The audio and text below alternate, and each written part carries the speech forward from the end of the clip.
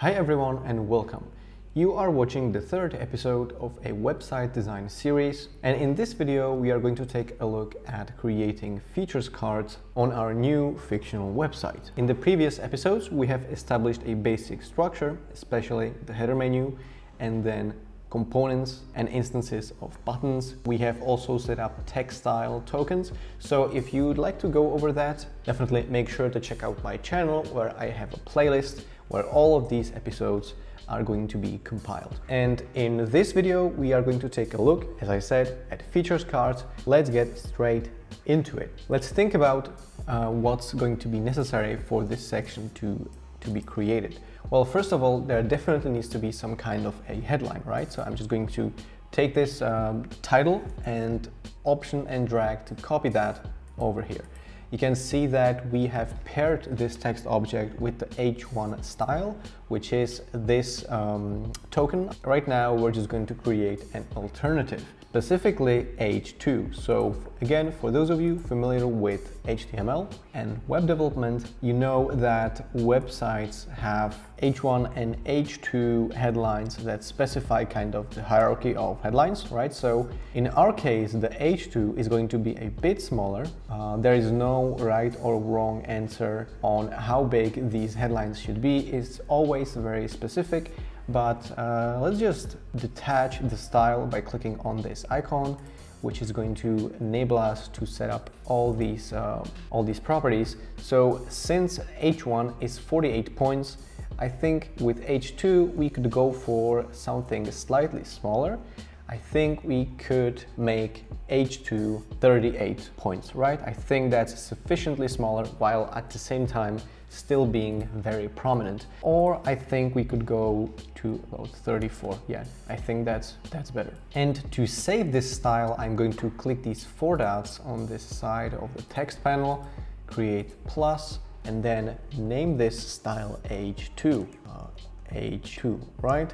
Description, we don't have to do this. Let's just type in second most important headline, right? But again, if you will be handing this over to developers, they will definitely know what is going on if, as soon as they see this H2 um, name, right? So this is going to be the H 2. What is this going to be used for? Well, I think this could be used as a title for our section. So let's just type in features, right? We're going to use that as a headline for our section. So that's going to be H2. And then we are also going to have individual features, which again are going to be one level lower. So if H1 is the website headline and H2 is features, then logically the names of individual features are going to be H3 right? The third most important headline. So again, I'm going to copy this text object and then detach the style and set this font size to be even smaller, right? So I think we could be looking at 24 points. As you can see, if we order these by size, you can see how we kind of go from the most prominent and important one to the less important ones. And with that, as we go down the hierarchy, the font size is being, is being shrunken down, right? So we are going to again select this text object and then create a new style for that. Again, H3, H3, we can type in third most important headline, create style. And you can see that when we now deselect everything in the local styles on this right side, the text styles that we currently have are H1, H2 and H3 and also paragraph text. Now I think we could move that over here so that the headlines are at the top to make this easy to understand and follow. And then of course we are going to have the paragraph. So let's just use this text object to create a name for the first feature. So let's say we are not going to be creative at all and uh, this headline is going to be called first feature. And then in the feature description, we're going to type in this is a description of the first feature of our app. We are going to briefly outline what this feature feature does. And of course, in our feature card, we are not going to have two H3 headlines, which means I'm gonna click this text and go over here to text settings and then change the H3 style to paragraph text. Then I'm gonna shrink this all the way here And you can see that we kind of are getting the basic structure of our feature card. And then we are probably going to need a button, right? So let me go to assets and then under local components on this page, design, I am going to click and drag this button component all the way here so that we can use this in our feature cards. And our feature cards are gonna have icons. So let me use the frame tool by pressing F on my keyboard and then I'm going to create a frame that will be approximately 64 pixels. I'm going to rename this icon, select the frame, Command R and type in icon, right? And this is going to be our icon. I'm also going to set the rounding of this corner to 32 so that we get a fully rounded frame. then I'm going to turn this into a component so that we have an icon component and I'm going to click and drag this with my option key being selected or alt key if you're using Windows and we get an instance of the icon component. I'm also going to change the icon component to be, you know, this dark gray background. You can see the instance is being updated as well because we will be using icons for our feature cards, right? And then let me just select all these elements that we have here and then press Shift A to add auto layout. And of course, I'm going to rename this to feature card, right? So this is going to be our feature card. Now, when I resize this, for those of you that have watched my previous videos, you already know what's gonna happen. I'm going to select these two text objects and then set the horizontal resizing to fill container. Because we have set up an auto layout, this now happens and our feature card is getting a bit responsive. Spacing is going to be, I think 16 works best in this case, right? Then also we're gonna have a background so with this feature card selected, I'm going to add a fill and we are also going to get 24 on horizontal padding and 24 on a vertical padding, right? So we now get this beautiful element that is responsive and also what I'm going to do is select the icon component and set under absolute position over here under frame, I'm going to enable that. Uh, and now this happens which is not what we want, which means I'm gonna select the feature card again and make sure there's a bit of space over here so that this icon has some space around it and it's actually recognizable and it does not collide with any other elements. So let me go to independent paddings and then increase independent padding on the top to 64. And then I'm gonna select the icon component and move that to the top, right? So this is what is, how this is gonna behave, right? If I now resize this, you can see that there's some additional space for this icon and at the same time it doesn't collide with any of these elements. So that's exactly what we need. Now, here's the thing. This feature section is gonna have a headline of features right? So at least that's my intention. And then you're, gonna have multiple of these. You're gonna have like three or four of these, right? And below these three or four, you're gonna have a button. And this button definitely has to be prominent. But at the same time, if you look at this layout, you can see that having four very prominent elements like this is really uh, distracting, I think.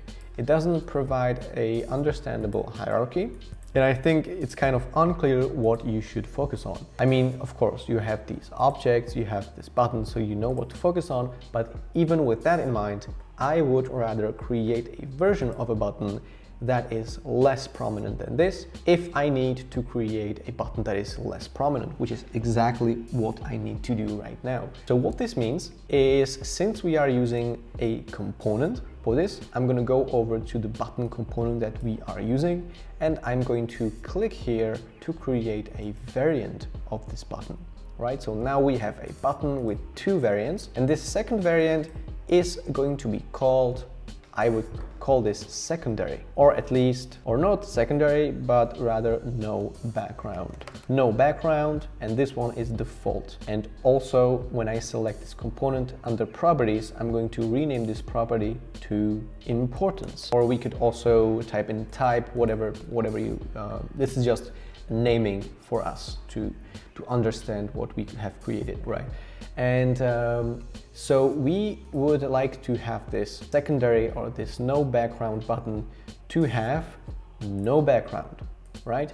But this means that the text should be, I think, black in order to be recognizable against white background, which we are using on our website. So then I'm going to select this again and also turn off these paddings so that we get zero on the horizontal padding and then zero on the vertical padding as well. So now our button is smaller and it's just the text and it's, it's evident that this button is less important than this one. And also just to make sure that this actually looks as a button, I'm gonna select the button, uh, the button object within the variant and I'm going to create under decoration in type settings in text here, I'm going to select underline so that this looks as a clickable link, exactly what we need. And now let's uh, let me do one thing, which is, let me remove these, uh, select this button and then under importance, I'm gonna select no background, right? So this is now our feature card. And I think that if we're going to have multiple feature cards and then one button at the end of that, I think that's going to look better, right? You don't want to be uh, using that much of a prominent element too often so that the visual importance is kind of intact so that uh, users are actually able to uh, recognize that this is something prominent. All right, so this is what we have now. I think uh, we could also reduce the opacity of the text to make this gray. So let's go for like 40% opacity, maybe a bit more, 55, 50, something like that. I think that's readable and it's also responsive. So let me now go to corner radius and add some corners let's say 16 and then one thing I'm gonna do is turn this into a component. With this selected I'm gonna click create component and what I'm going to do here is select headline and go to content and click on create component property. This is going to be called feature headline. And then similarly, I'm going to create the description and then go to content again and create another new property. And this one's going to be called feature description. So now if we create an instance of this component, we will be able to edit the headline right here, right? So that is simpler than editing the thing, actually using our text tool, right? So we have the feature card component because we will be using these all over the website, probably definitely multiple times, which means that we now can duplicate this and I would say let's use that three times then select all of these, Shift A to add auto layout and then press enter and then go to horizontal resizing and set that to fill container. So this means when we now do this, these beautiful components are going to be resized along with their container. And I'm going to rename this to features container and this features container is going to be similarly to this section is going to be also 1152 pixels wide, 1152. And then I think since we have a lot of width, we could use one more feature. So let's just duplicate one of these so that we get four features in total, right? I think this works well. Right, so let me select the first feature and type in first feature and then the second feature, third feature, and fourth feature. And then also I'm gonna change these description. So we're just gonna change numbers. But uh, in any case, here is how easily you can change the text since we have set up component properties and I'm just gonna edit text here and it's gonna update these components. So what's really good about this approach is when whenever you have something on your website that is being repeated, like these feature cards, you definitely wanna think about using a component for this because now let's say I want to have feature cards that are gray or I want to, you know, I want to use gray everywhere. That means I can just update the component and the instances are going to be reflecting that change, right? So this helps keep your web design consistent and that's very important. Additionally, there is this icon component and since we have four features, why should we have just one icon, right? So for now, we're just gonna use um, placeholders. So let me just stack this horizontally and create four different icons, right? Or at least four different placeholders for icons. And I'm go going to differentiate these by color. So the second one is going to be uh, red like this. Then the third one is going to be blue and the fourth one is going to be green, let's say. Keep in mind, these are just placeholders and in future videos we are going to be creating icons for these features, which means I'm to click the second feature and change the icon variant to variant 2, similarly to the third one to variant 3 and the fourth one to variant 4, right? So, and again, with these components, when I make up my mind and I want to change the second icon, you know, we have a feature of our app, so the likelihood that we are going to reuse a feature icon across our website is pretty high. And let's say I want to make sure that icon stays consistent on all, the whole website. And that's where also components and instances come in handy. So uh, that's why I have chosen this structure, right? So now what I'm going to do is select the features container, the headline and the button and again press Shift A. This is going to be also 1152, which means we can set the features container to fill container. We can rename this whole auto layout to features section and then set the spacing to around 64 44, whatever value feels right. And then also let's just take this feature section, press Shift A, edit the vertical padding to 96 and just make this whole auto layout 1440 pixels wide. And also I'm gonna change the alignment of this auto layout, which means feature section is now going to be always in the middle. And then also add a background, which is going to be white.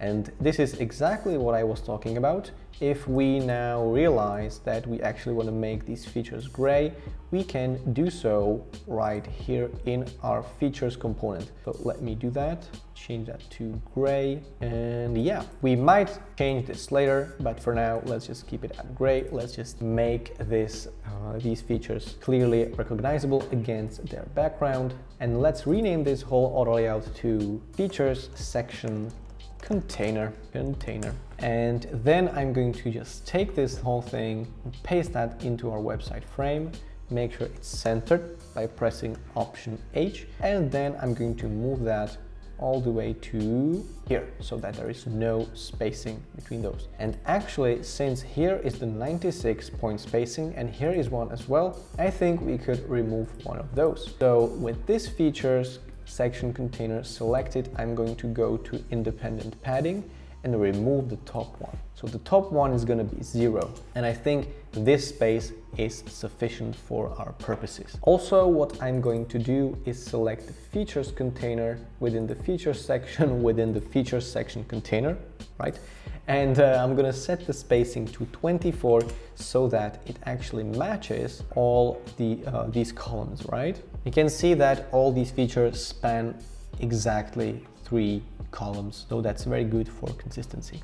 And let's launch the prototype and actually see what we have created. And yeah, this is what we have created today, this beautiful features section. I also think we could make this button text less generic so let me just select the button within this, right? Let me just select this and then button text, we're gonna change that to learn more. And we actually are going to select all these buttons within these features.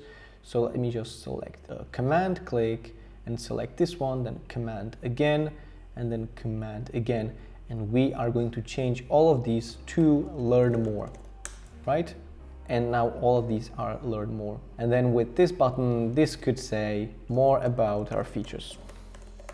And yeah, I think this looks more convincing. In future videos, we are going to finalize these icons, create more sections, etc. So if you want to keep learning about website design in Figma, definitely make sure to subscribe so that you don't miss future uploads. And if this video helped you understand web design a little bit more, I would appreciate you leaving a like. And I will see you in the next episode of website design in Figma. Thanks for tuning in and see you in the next one.